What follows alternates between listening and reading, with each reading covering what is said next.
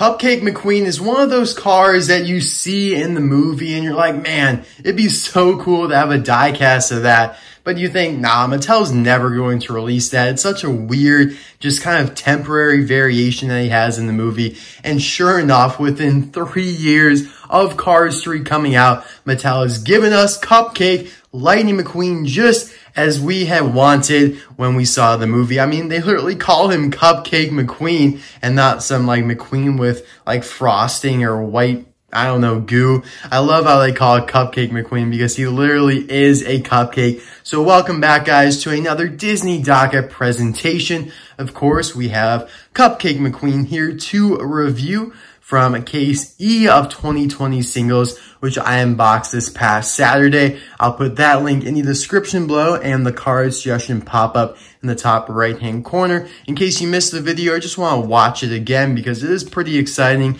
There were a lot of cool cars in that case. Not only some new ones, but also reissues of Jonas Carvers and Faregame. And then the car that I will also be reviewing soon from the case is Silver the King. So definitely stay tuned for that.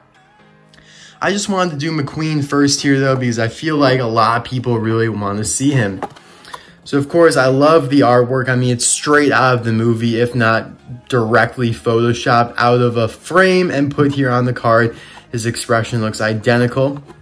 I also like how they showed the black kind of tarmac detailing and upsplash that comes from racing. It's hard to describe that really, but he is in the funny flashback series. I love this little cartoon car. This is the first car I will be reviewing from this series. And so I haven't talked about this little icon they have here. It's kind of like one of the Tokyo Japanese cars that you see in the bathroom from Cars 2. That's what it reminds me of.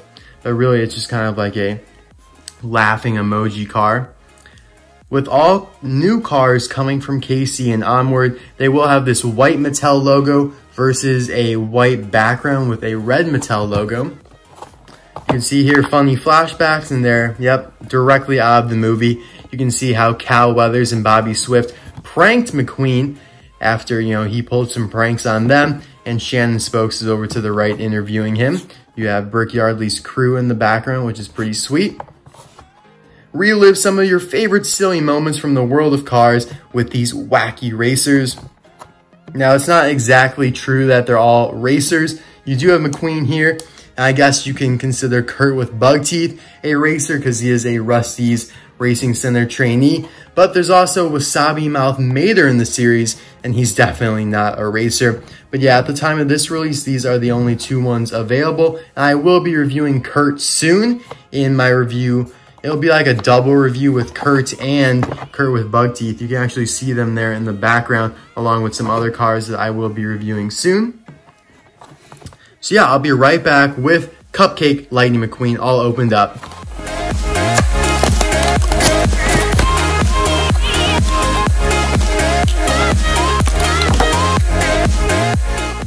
Now, the singles case that Cupcake McQueen is in, E, that I talked about earlier on in the video, is being found across the United States at Target stores. So if you're in America, you're in luck. You have a pretty decent chance of finding the case at your local Target over the next few weeks here. It has started at the West Coast and is moving across the United States. So hopefully, you know, despite coronavirus delays and all that stuff, it still shows up at all of our stores. I haven't found it yet, but hopefully soon.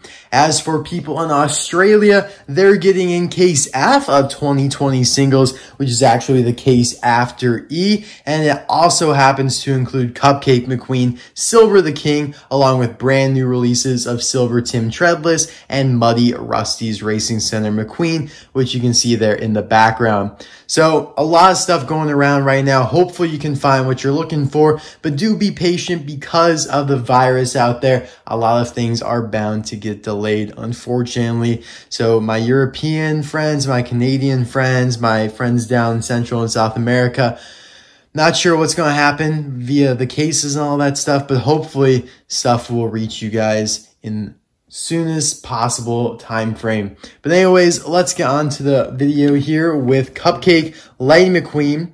There he is in the movie, and this is the same image off the card back. I mean, they took directly from the movie.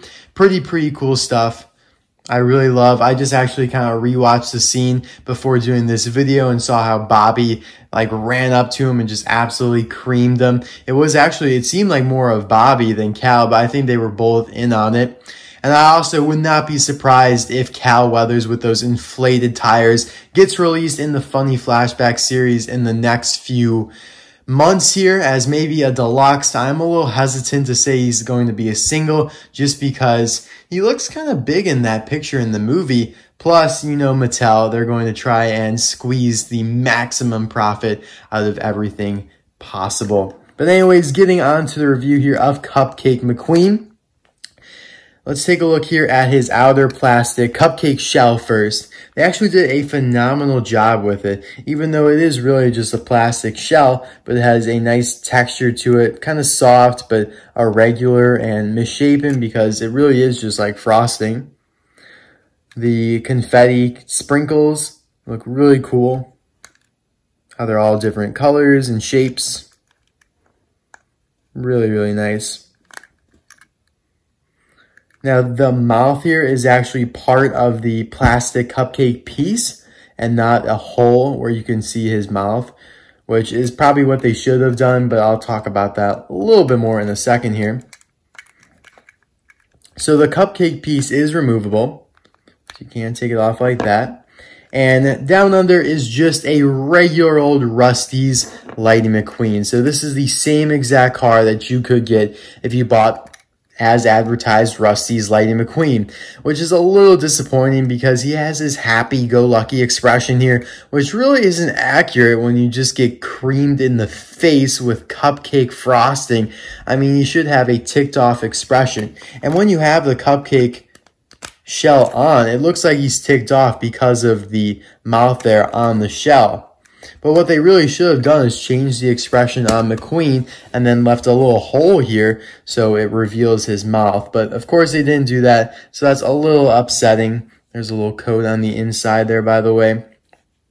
A little upsetting for sure, but it is what it is. It would have been so cool though, because then you would have like a normal Lightning McQueen with a kind of disgusted expression that you could use in stop motion for maybe when Jackson Storm came along. I do like also though, I want to mention that they have these two little bars here so it clamps on kind of nicely. It's just a really nice piece. This is really cool. This, however, they definitely could have done better with. Actually, we're not going to put that on just yet. I want to compare them to the Chinese Rust-eze McQueen here. So, of course, eyes are different. I don't know why they look so grainy and dark. They really should look a little brighter than that, but oh well. The emblem there on the hood, the logo. It looks a little grainy, but it is Thailand. What are you going to do? I do have to say they are improving though, but they do struggle with smaller decals like the contingency sponsors here, Piston Cup, Octane RPM, Revolting, and Clutch Aid. You can see those same exact ones up here, but just 100 times more clear. Just, yeah, like I said, they struggle with smaller decals. Bigger ones like 95, Rust-eze, they actually don't look that bad. Although along the edge here of his bolt, it honestly looks like it's been cut from a piece of paper. It looks so rough and like uneven and it looks like it's been glued on. It looks like arts and crafts there, where this actually looks like a painted on logo. You guys know what I'm describing there. The roof looks pretty good, 95. Lightning McQueen signature, roof flaps. You have the window bars there. You also have the Rust-eze logo on the spoiler. It's way bigger on the Chinese version. It's probably about 20% larger on the Rust-eze version, which is interesting. There's the gas cap on each.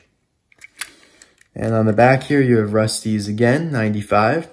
You can see on the Thailand version, the gradient, like the yellow to orange, is way more faded. It's basically almost an entirely yellow text there. Whereas here, you can clearly see how it starts red at the bottom, turns into orange, and then eventually yellow, which is really nicely done. I mean, it gives us an appreciation for China, which we really took for granted. I mean, because that's all we knew before. We had nothing to compare it to.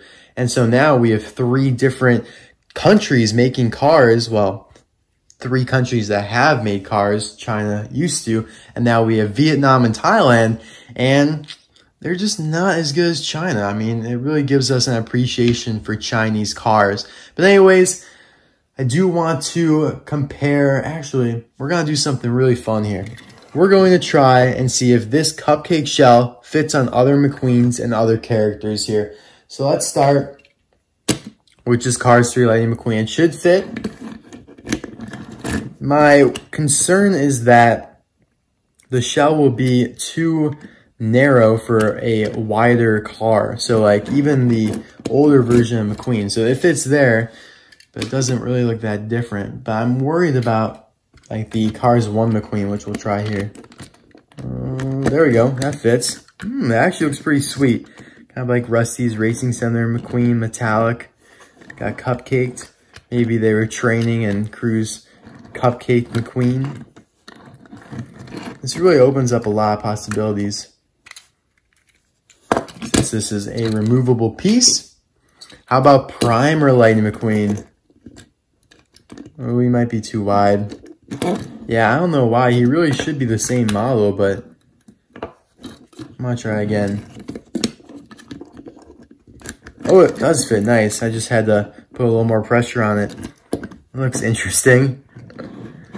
Oh my gosh, that's awesome. And I think this one will look the best. Can you guys guess? Fabulous Lightning McQueen. Cupcaked? Oh, heck yeah. That actually looks really cool, guys. I like the blue with the cupcake on top. That looks actually pretty sweet. All right, let's try some other characters. Well, first, let's try Cars 1 McQueen. I am fearful it's too narrow. Yeah, you can see here, it will not clamp all the way on that one side there, unfortunately. Darn it, that stinks. But, let's try Cal Weathers here and Bobby Swift. Uh, he looks to be a little too wide as well. Oh, it seems like he almost fits, but still, ah, too wide. What about Brick Yardley? This is a factory custom of Brick, by the way. That's why his paint job's a little darker.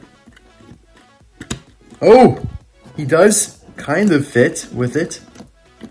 Not bad, not great, but I mean, I'll take it. It's so strange to see that. You're so used to seeing the piece on Lightning McQueen. It makes it so strange to see him on a different character.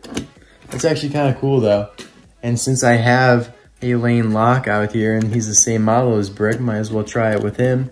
See how Lane looks with it. Ooh, oh my gosh, Lane actually looks way better with it. I guess I just clamped it a little better. And he actually looks really good. Look at that, guys. So the Brick Yardley model works pretty well, too. That's actually awesome. There you go, more stop motion opportunities. You guys could have a whole stop motion around maybe the cars pranking Brick Yardley or one of the other racers like him. Awesome stuff. And just for laughs and giggles, we'll try Aaron Clocker here. He's definitely too wide though. Oh yeah, he's way too wide. All right, guys. Well, thank you so much for watching this video. As we close out here, I do want to show a few customs from 4-Wheel Drive 7 that also have like coverings, I like to call it. I don't know. When I thought of Cupcake McQueen, it reminds me of these customs I have here that have like coverings, like I said. I don't know how to describe it, but of course the tuners with tar, I have Boost and Snot Rod here for comparison. And then the Tokyo police car with the foam spray that uh, I think it was a blue Pacer or was it Acer or somebody used on, oh no, it was Finn McMissile actually. He used on the police officer because uh, I think it's, oh my gosh, it's been so long since I watched that scene from the movie, but it was a whole Tokyo alley chase scene where Finn McMissile was going after Acer and a few other lemons, and somehow the police car got that foam on them. But yeah, all three of these, or all four plus the other tuners do kind of fall into a similar category. But anyways, thank you guys so much for watching. I hope you enjoyed this video.